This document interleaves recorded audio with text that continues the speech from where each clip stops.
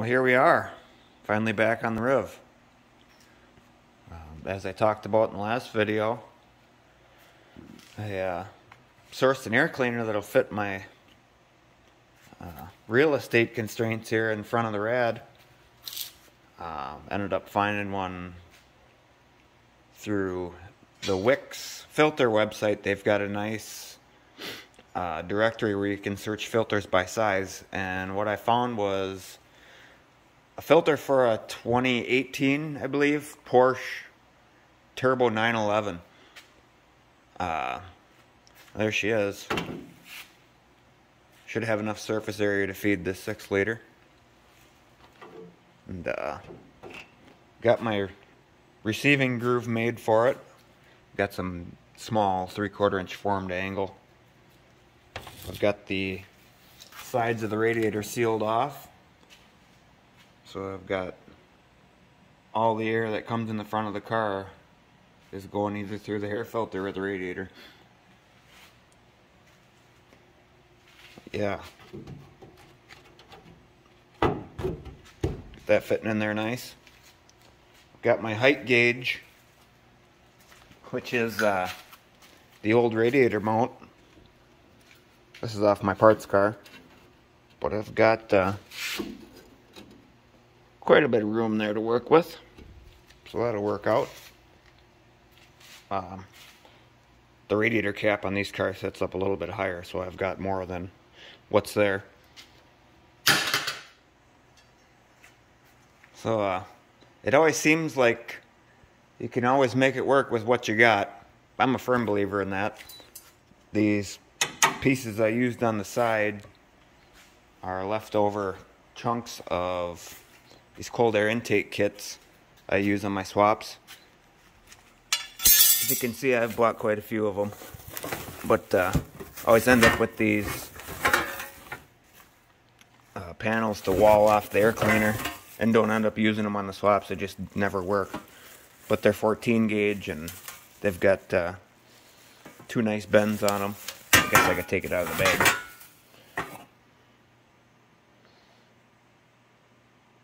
Decently they thick and they've got uh, some 90 degree bends on them. Just useful stuff to have around. But what I was getting at for using what you got is uh, I needed to come up with a flange to seal the top of this air cleaner off.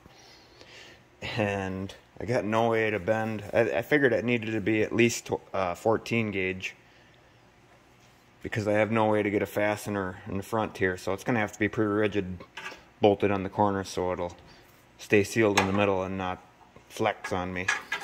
But uh, I found exactly what I needed here. It took me uh, probably, I don't know, a couple hours of wandering around in the shop to try and find something that would work, but that drops in there perfect. By the time that cinches down, it's not putting too much pressure on that air filter foam and uh, give me something decent to build off of for the rest of the duct here. Um, show you where that came from. It's kind of funny.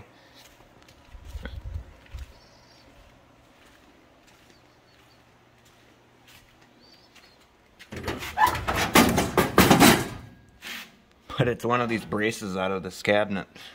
I've got, I don't know, three or four of these cabinets around here. But yeah. So use what you got. I believe the universe provides. So uh, this engine cover, I'm not quite sure the direction I'm going on it yet. I'm not in love with the straight sides. I got to come up with something different. Um, the first subscriber that can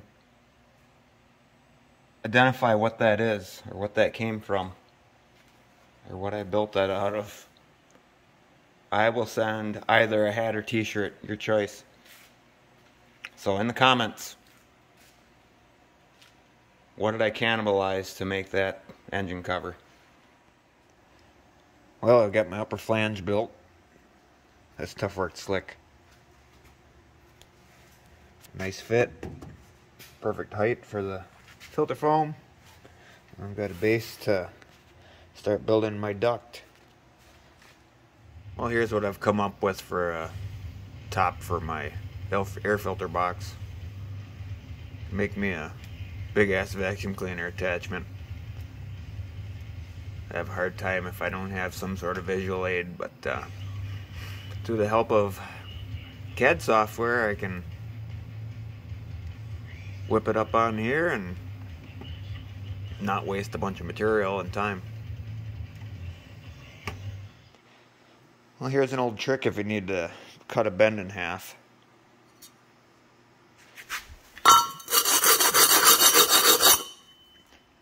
There's your line. Well, there's my tube diced in half. I also uh, notched that one already. So I've got the bottom notched out. Looking like it's going to work. Something like that. And uh, the inside of my bend I can just flip around and use here. It's going to work nice.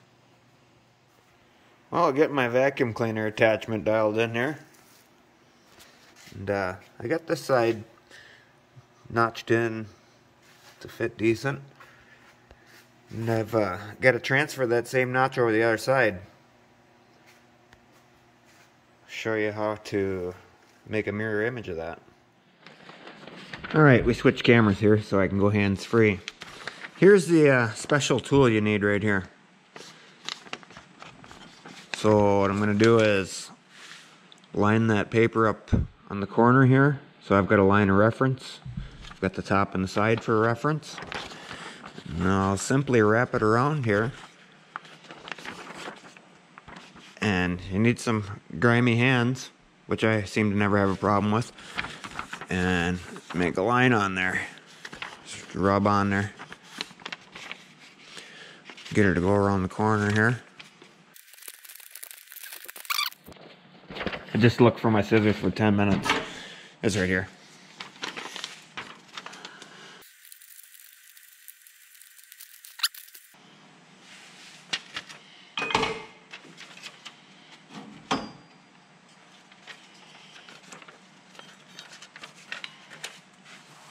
It's bugging me.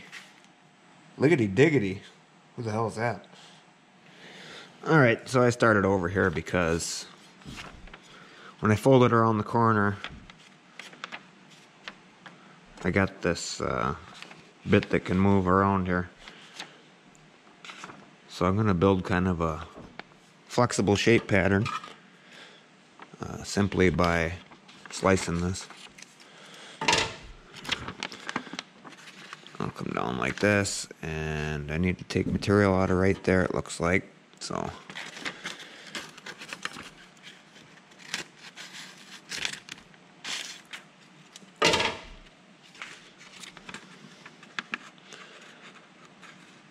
There we go.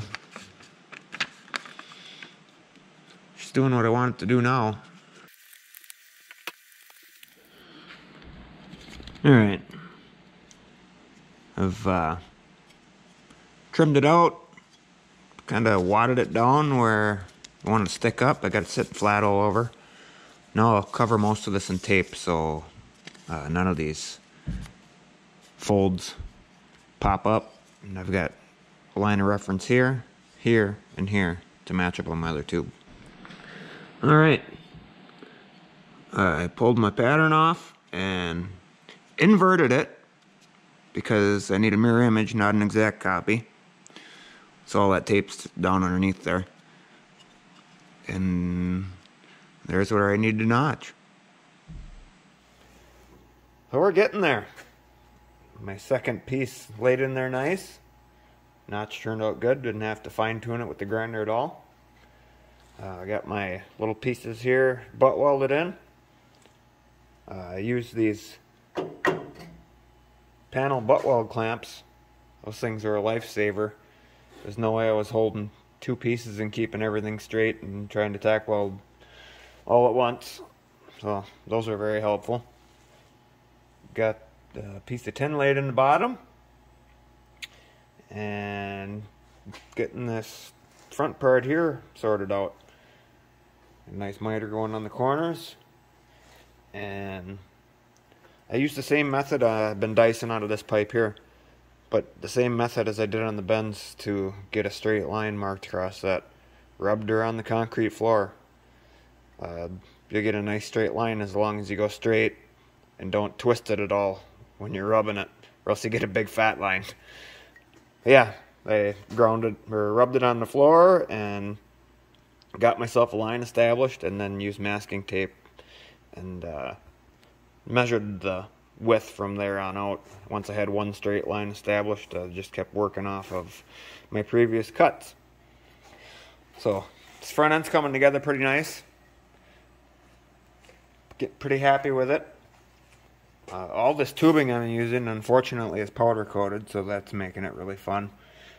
I uh, threw this whole thing in the blast cabinet, and just takes forever to try and get any of that to blast off. So I'm sure I'll end up grinding most of it, but hey, what do you do? Look at how nice that miter come together.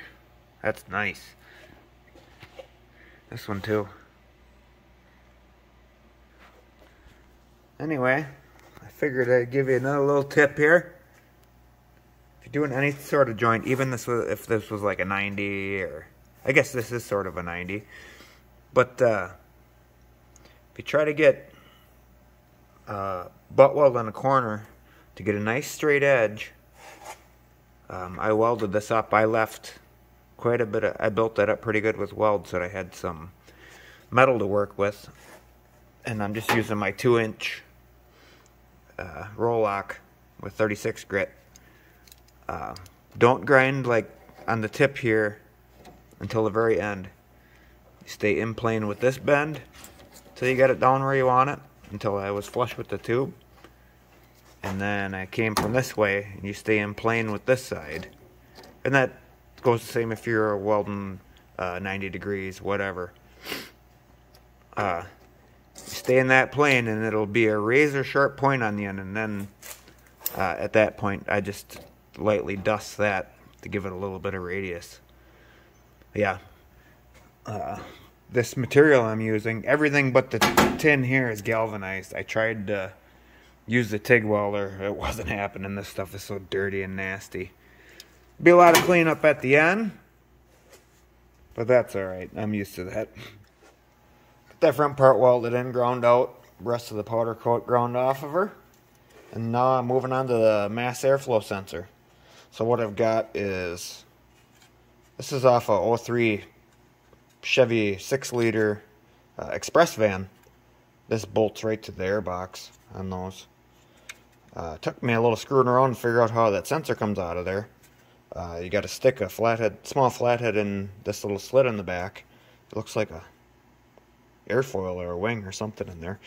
But uh, yeah, if you stick a screwdriver in the back, there's a little lock clip in here. That lock tab on the back.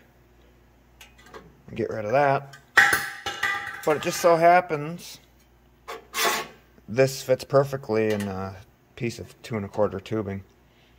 I was going to use a the LS7, LS3 style card math, but I think it's a little bit too long for the vertical space I've got here. So I'm going to punch a hole in the bottom of my pan there and weld that tube into the bottom and stick her up through there. I got just enough room between, uh, well, the backside of the radiator there and the rubber boot that goes on to sneak this in here and it'll be right in the center of the airflow where it necks down and should work out pretty good in theory. If not, I'll just uh, tune it in speed density and use it for the IAT in there. Now, I know what you're thinking, and the answer is no. That was not intentional. I got my little tube welded on the bottom there for my mass airflow meter. And I uh, cut a paper pattern for the top here. Got a pretty good mess going that means something's getting done, usually. But anyways, yeah, I cut a paper pattern and uh, voila. I made a top out of 18 gauge. See, she's got some shape to her. I rolled her up on the old English wheel, put a crown on the whole panel. So, here's my wheel. I built this a couple years ago. The old Duramax ring gear for an adjuster. After that, I rolled uh, with my bead roll. I put some uh, raised areas in there. Give it a little uh, strength so it doesn't oil can. I'll show you my bead roller too. Here's my Eastwood Beast Beast roller, bead roller. Um, I've converted it to a 12 volt gear reduction motor. Kind of a cool old housing I use for electronics. I guess that old uh, arc welder burned down a lot of houses and was recalled back in the day. But I've got uh, variable speed here and foot pedal, forward reverse. But I did that raised uh, section in the panels, the rubber wheel, and then just uh, part of a step die. Uh, also, I've got the backside of this thing reinforced with angle iron or else they uh, they're a Twisto-Flex machine otherwise. Uh, I sure do love having parts cars.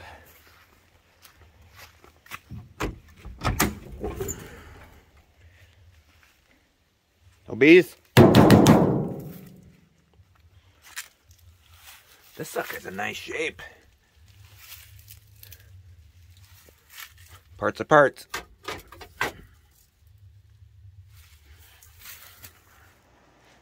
We got our cherry on top there. I'm eventually gonna fiberglass all these welds and uh, bodywork this thing. I'm not gonna do it till I'm done banging around in the engine bay because I'll just have it screwed up. But uh, yeah, I'm happy with the way this metal laid out. Uh, an unintentional, got a really cool concave going on here on both sides. So. I'm liking that. Kind of learning as I go here with this tin work. I haven't done a ton of it. But, uh, learning more and more all the time. And with the help of YouTube videos, hopefully like this one, uh, I can get a little better at it. Yeah, trying to dial in the sheet metal skills a little bit, and it's kind of why the old Studebaker has been, has been a court rack for a while. Um, it's kind of the uh, forever project, so need some more practice before I start on that old girl because uh, that car means a hell of a lot to the family, and that's a story for a different time. Still, I'm going to tin this all in here, and I think I'm going to do some panels that I think I'm going to put the ECM right here and the fan relays and stuff. And I'm going to make a filler panel that kind of comes off flush here and the back edge of it maybe curl out back to the fender. Just so I can stash stuff underneath there. I'll do the same on the other side to cover up the battery and hide all that junk. Yeah. Thanks for watching and uh, catch you all next time.